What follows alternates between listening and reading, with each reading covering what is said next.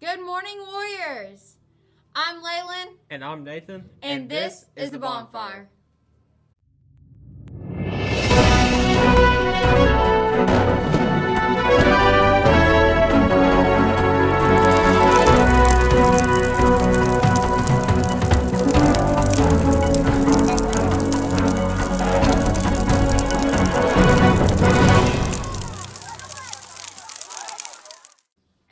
now let's stand for the pledge.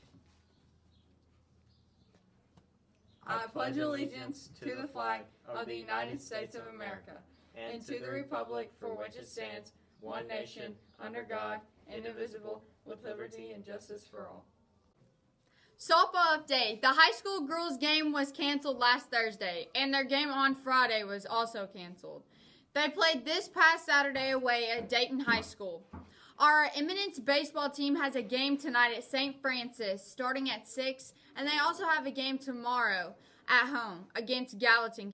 Hey, also, find a senior or Miss White very soon and purchase some amazing sheets or towels or even both to support the senior class.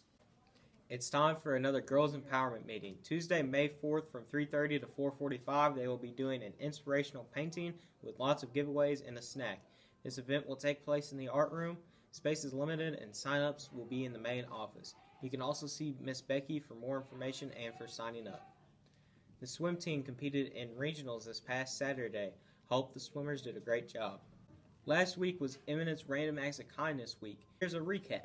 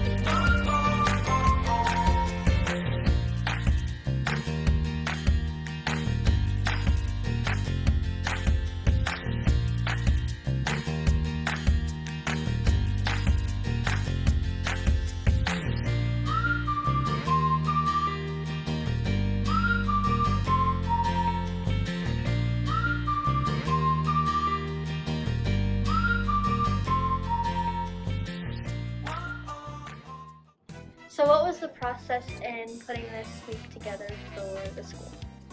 Well, the Sources of Strength Club spent a long time uh, putting this all together.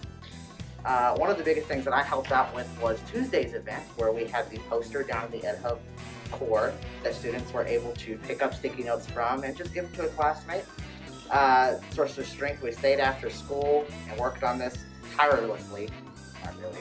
Uh, but we did work on this because we feel, felt like it was a really good event that was um, much needed. That's. Okay. What are your thoughts on how um, the Random Acts of Kindness week went? Uh, I thought the Random Acts of Kindness Week was an awesome event that the school uh, had. Uh, it brought the school together while staying socially distanced, and it was just an awesome event to spread kindness and joy throughout this week.